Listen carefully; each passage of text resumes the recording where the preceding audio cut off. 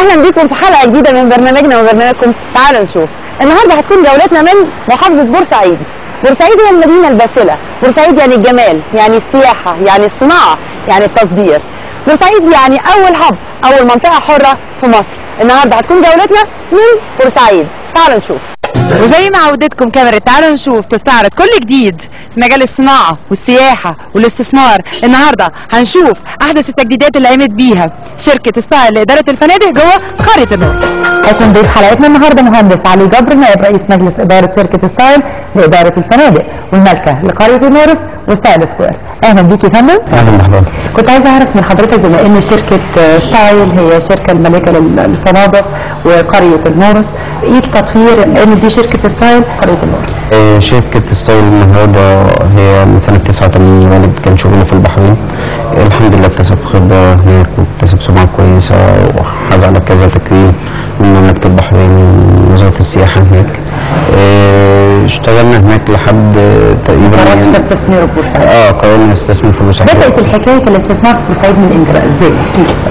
في 2012 آه، يعني هو الموضوع من قبل 2012 بس هو الوالد دايما حب البورسعيد طاغي على أي حاجة دايما بيفكر في البورسعيد إزاي يعمل فيها مشروع. آه، لحد ما كان في طرح قريه النورس وإحنا الحمد لله يعني يمكن اتأخرنا شوية بس بعد كده في مستثمر أخذ قريه النورس وما قدرش يكمل لظروف البلد في الفترة ديت.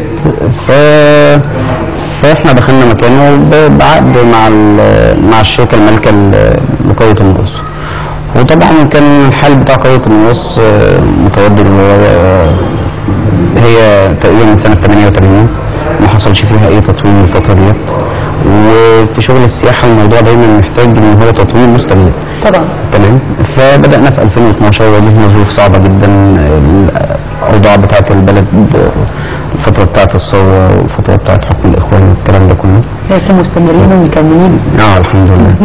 آه بس هو الموضوع فرق معانا إن إحنا أخدنا الفترة ديت إن إحنا نبدأ نطور في القريه بحيث إن إن الأوضاع تتحسن تكون القريه إن شاء الله جاهزة معانا إن شاء الله. بدأنا في تطوير الوحدات الفندقية بدأنا في انشانا منطقة مركز رياضي هنا هوت فيها اتنين جيم رجالي وسيدات وعملنا صاله بولينج عملنا ملعب كوره عملنا اتنين ملعب سكواش. آه، الحاجات ديت طبعا فرقت مع الناس اللي كانت آه، عارفة النورس النورس طبعا قريه من أقدم القرى من أقدم بورسعيد طبعا. آه هي وليها ليها مذاق خاص عند الناس دايما. الناس بتطلب النورس بالاسم. طبعا آه، أول ما الناس بدأت تدخل آه، السياحة تبدأ الداخلية ترجع تاني بدأت الناس تيجي بدأت تحس بالتطوير اللي اتعمل. آه، طبعا شافوا الفرق ال- شركة ستايل الحمد لله قامت بيه هل التطويرات اللي قامت بيها شركة ستايل لإدارة الفنادق آه والمالكة لقرية النورس أثرت فعلا على جذب السياحة لقرية النورس؟ آه الحمد لله. يعني إحنا الفترة ديت آه، بدأنا إن إحنا ناخد منتخبات بدأنا ناخد فرق رياضية بدأ يعني بدأت تيجي لقرية النورس أنا لاحظت. عند وصولي النهاردة إن أنتوا عندكم المنتخب الليبي والمنتخب المصري المصري آه تمام صحيح. هم عندهم مباراة النهارده ف... فهم مقيمين معانا هنا في قرية النورس وكان معانا طبعا عندنا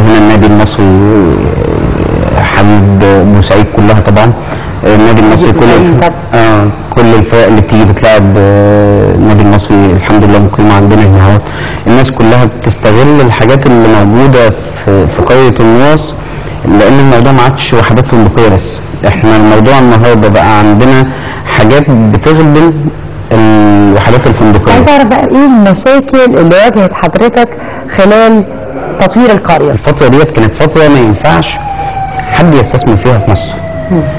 كانت فترة مقلقة للناس كلها.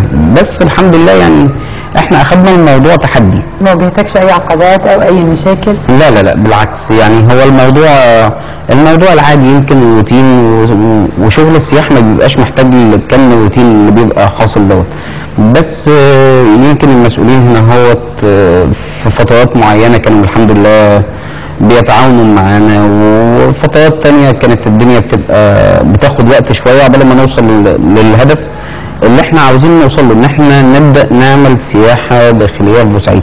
بورسعيد دايما مشهورة إن هي بلد جميلة جوها جميل الناس بتحبها الحمد لله بس هي المقومات ال- يعني عاوز أقول لحضرتك بورسعيد عدد ال- الغرف الفندقية فيها لا يكفي المطلوب فهو الموضوع إن إحنا دايما كنا بنبص الناس محتاجة إيه؟ وبنحاول إن إحنا نشتغل عليه. وشايفين إن الحمد لله ربنا وفقنا في حاجة زي دي. إيه الجهات اللي بتتعامل معاها شركة ستايل للفنادق؟ إحنا بنتعامل هنا هوت آه، مع احدى الشركات العريقة شركة بورسعيد للتنمية السياحية تابعه لمحافظة بورسعيد والجهاز التنفيذي. وعندنا مشروع تاني بنتعامل فيه مع القوات المسلحة طبعا آه، قياده الجيش التاني الحمد لله ناس آه، يعني في قياده الجيش وفي القوات المسلحة آه، شايفين أنا شايف من وجهة نظري بصراحة إن هي ناس النهارده بتشجع على الاستثمار وبتشجع الناس على إن هي تشتغل وبتحسس المستثمر بالأمان. آه، طبعا دي حاجة مهمة جدا بالنسبة لنا.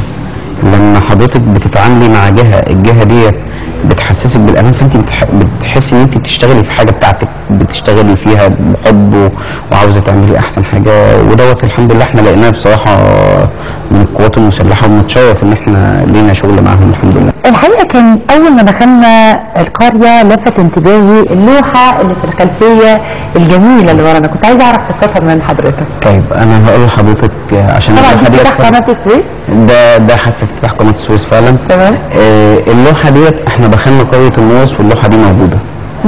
اللوحة ديت التاريخ بتاع ال- الديزاين بتاعها الرسم تصميمها بتاعها سنة 88 كان عملها الفنان مصطفى العزبي الله يرحمه. آه، أول ما دخلنا قرية النورس أول حاجة حسينا إن هي تراث. آه فعلا آه، تراث وتاريخ آه، حاولنا نحافظ عليها آه، كانت اللوحة دي. وجبنا الفنان اللي رسمها سنة 88 رحمة الله عليه الفنان مصطفى العزبي.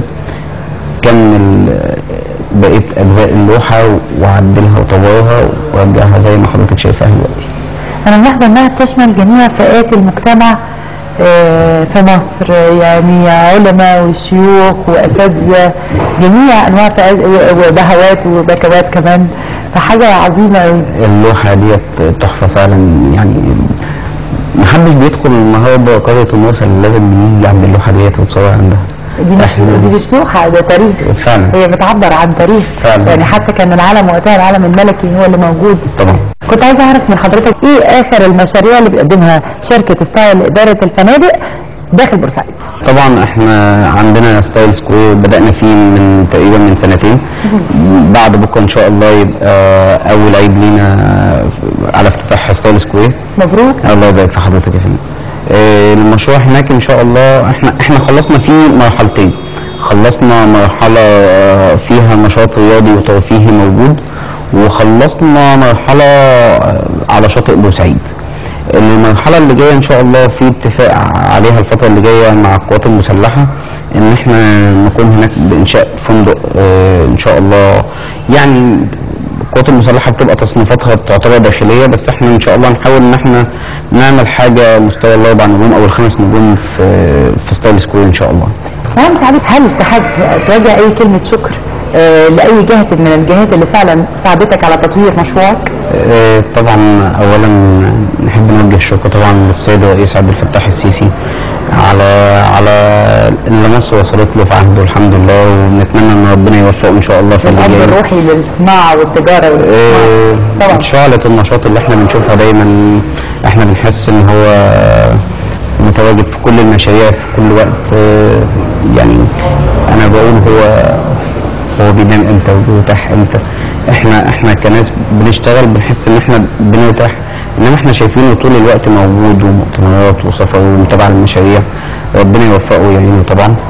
وطبعا بنوجه الشكر للسيد اللواء عادل غضبان محافظ بورسعيد على مجهوداته في بورسعيد ويعني خطوات التطوير اللي هو عملها في بورسعيد ونتمنى له التوفيق إن شاء الله. وطبعا قيادة الجيش الثاني الميداني على كل الدعم اللي شفناه منها وكل المساعدة اللي شفناها منها. آه، طبعا آه، أوجه الشكر لوالدي آه، الرئيس بتاعي والمعلم بتاعي. أوجه له الشكر على كل حاجة وعلى تعبه ومجهوده وعلى حبه للبلد اللي هو زرعه فيه طبعا وما أقدرش أنسى طبعا فريق العمل اللي معانا هنا هوت في ستايل سكوير اللي دايما بحس منهم إن هم بيشتغلوا في حاجتهم ودايما متعاونين لأقصى حد و- ربنا يوفقنا جميعا إن شاء الله في الفترة اللي جاية بإذن الله. بشكر مهندس علي جبر نائب رئيس مجلس إدارة شركة ستايل للفنادق. أنا اللي بشكر حضرتك يا فندم نورتونا النهارده وبشكرك وبشكر المحافظ على إن فعلا إحنا شفنا النهارده تنمية وتطوير داخل محافظة بورسعيد. وصلنا ستايل سكوير. الفكرة جت لك منين؟ فكرة إنشاء ستايل سكوير جت لك منين؟ هي الفكرة جت إن أنا كنت يعني أنا أنا بسافر كتير. شفت حاجات كتير موجودة في بره مصر. كان كان نفسي إن الحاجات دي تبقى متجمعة عندنا هنا في مكان. إيه، فالموضوع بدأ معايا إن إحنا لو عندنا مكان قطعة أرض بمساحة مناسبة نقدر نعمل فيها إيه ونوظف فيها إيه. إيه، بدأنا الموضوع بعملنا رسم للمكان عرضنا رسم على القوات المسلحة شافوه إيه، عدلنا فيه. طبعا مع الشغل مهما كان في رسم معمول وانت عاوزة تعملي الأحسن وتطلعي الأحسن آه، جت أفكار كتير جديدة أضافت على المكان ادت له شكل تاني وطابع تاني غيرت آه، غيرت حتى في التصميم اللي إحنا كنا بادئين بيه. آه، ولما بدأنا نخلص والكلام ده كله اهتمينا بالتفاصيل الصغيرة بتاعة الفينش والحاجات دي. إيه، بدأنا نفكر في الإضافات اللي على الفكرة نفسها. يعني المشروع هنا هو على مساحة 10000 متر. ال 10000 متر تم استغلالهم كل جزء فيهم الحمد لله استغلال أنسب. آه إيه، هو هو الموضوع إحنا حاولنا نحافظ على الجزء الرياضي وفي جزء شاطئي موجود ودخلنا على الموضوع ال- الترفيهي أو السياحي أو دخلنا عوامل الجذب اللي تكمل المشروع كله مع بعض مهندس علي أنا كنت عايزة أعرف إيه الخدمات اللي بيقدمها ستايل سكوير؟ طيب هو المشروع أنا أنا هديكي التفصيلة بتاعته. حضرتك هو عبارة عن ست مطاعم وكافيهات. إيه، اتنين حمام سباحة واحد نص أولمبي إيه، ديت سخن واحد مغطى سيدات ديت سخن إيه، اتنين جيم كل واحد كامل بخدماته كلها. برضه ساونا آه، steam جاكوزي السبا كامل غرف المساج آه، تعاملهم الحمد لله على احدث على أحدث طراز في في في الجيمات اللي موجودة. في ثلاث ملاعب سكواش. في صالة متعددة ديت تدريب باليه وجمباز وكاراتيه وتايكوندو. بيتعمل فيها إيفنتات زي ال open day والحاجات اللي ممكن تبقى فيها جزء تجاري. تمام؟ عندنا سوبر ماركت عندنا بارتيشنات صغيره بتقدم خدمات متنوعة. بنحاول إن إحنا في كل الحاجة اللي موجودة المطاعم والكافيهات مفيش مفيش مطعم وكافيه زي التاني. مكان رياضي ترفيهي. الكافيهات أو المطاعم الموجودة هنا هي بتخدم ال- السادة الزائرين. آه، والقائمين ببعض النشاطات وعائلاتهم. تمام. زي ما شفنا في استراحات حضرتك موفرها لعائلات ال- ال- المتدربين عندك هنا تمام. في كافة النشاطات الرياضية. والله هو إحنا عاوزين اللي يجي النهارده المكان يقضي اليوم كله. إيه كل الخدمات متاحة قدامه. كل يعني هو عنده تدريب الصبح عنده جيم هيدخل جيم موجود هيتغدى في المطاعم اللي موجودة هيكمل بالليل في ملاهي الأطفال هيكمل في الكارتنج اللي موجودة هيطلع يقعد على الشط كام بالليل أو الصبح. في الشتاء الشط إحنا جهزنا عليه الأعداد بتاعة النار وجهزنا عليه الروح بتاعة الكامب شوية. تمام؟ عندنا برضو وفرنا وفرنا فرص عمل ووفرنا حاجات.